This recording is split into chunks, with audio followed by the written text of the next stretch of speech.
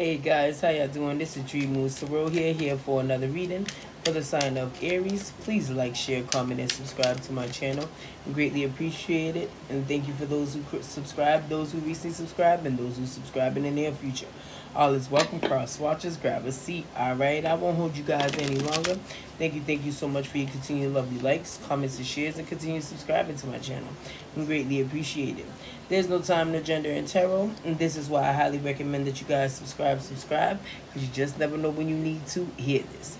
Take what resonates and leave what doesn't. All right. Hope you guys are feeling good. All right, feeling highly favored. All right, it's Monday. I know it's a drag, but we here, right? We here. Hope you guys had an awesome weekend and just ready to embark in a new what week. All right. The card that came out for you is Justice. Oh, let's talk about it. Let's talk about it. People don't believe in karma, but karma comes in many forms and it will be served. It will be served in any platform you decide for it to be served in. Take it how it resonates, okay? Agent, wires, all right? Someone is definitely coming fast in a hurry, especially coming for you, all right? This person has something to tell you, all right? Even if you, excuse me, do not decide to take this person back, if you decide not to allow this person back into your life, hear them out. This is not something that you've you've been wait you've waited for. I'm not saying that you've been waiting for, but you have waited for in the past with this 11 on there. Taking back your power, holding your stance. There's a difference between how you used to wait for this person's change. How now you're just standing in your power, knowing your worth and understanding and valuing who you are is making this person chase you. So where the runner, right, becomes the chaser. Because you're standing in your power. You know what value you hold into this connection and in this person's life. See, there's no fabricating. You're not here to play around. You're not here to mimic people. You're not here to make people feel, you know, belittle people, make people feel they're small. You're not. But in a sense, when karma does come around, you kind of feel this sense of, I told you so. If you didn't see the love that I had for you before, I mean, if it took you now to see it while I'm gone, then that's your learning curve. But that doesn't mean that I have to be there while you learn your lesson. And that's growth. And when I say that is that just because someone established what they had does not mean okay i wanted this so bad at that time but now i realize my worth. If this person didn't understand to make some certain changes when i was ready and wait willing to wait for them then how dare i disrespect me to stay? When they should have already known i've been loyal. I've been that lo- that that that sacred person that they should have kept. See, this is what your person is going to learn once they come and approach you. Hear them out. Like I said, hear them out. Hear them out. Let them express these emotions to you because this person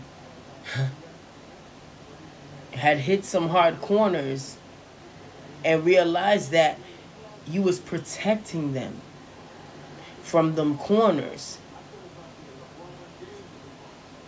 All right? From them areas that you knew that was going to be detrimental. Hinder them. Stop them. Block them from moving forward. They didn't get that. Instead, they took it as a competition. They took it as a threat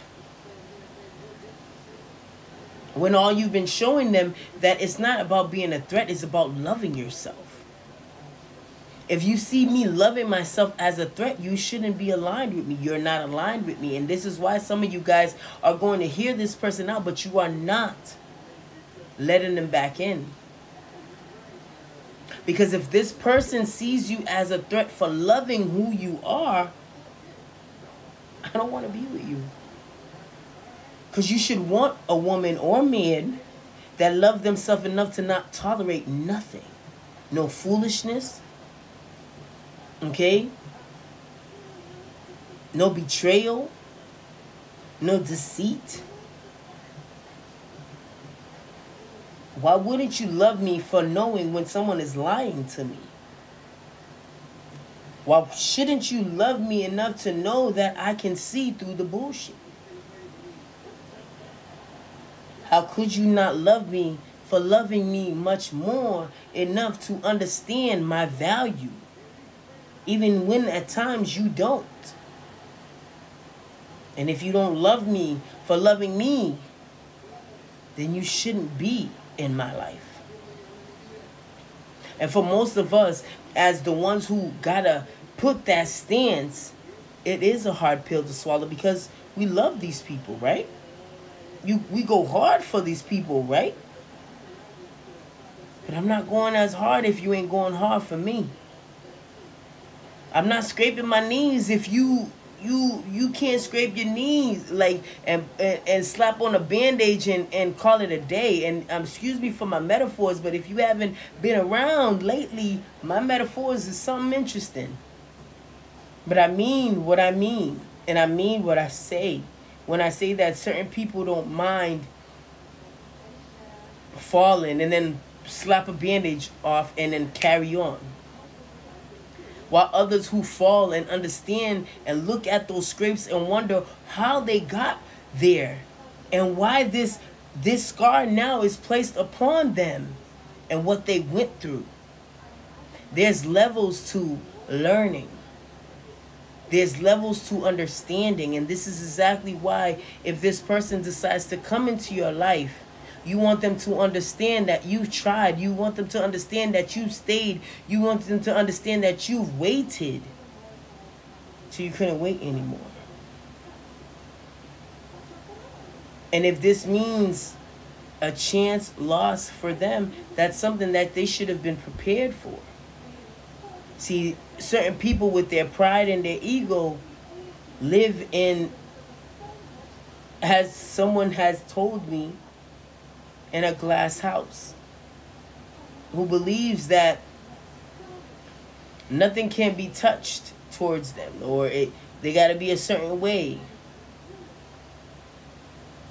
You're letting this person understand and know that you love yourself enough to let go and know to apply the pressure where the pressure is going to be reciprocated.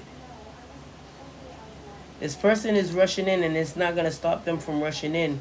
It's just going to give you the chance to accept it or let it go.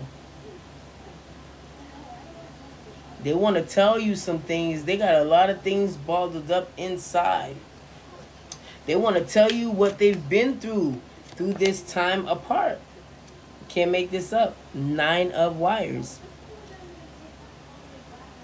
This person is coming through and don't even understand if they come in in the darkness or if they come in in the light just because they're scared. They're afraid of your reaction. They're afraid of your response. See this person sat there and listened to other people creating this narrative creating this life for them and then realizing that this these people had did not have their best interests at heart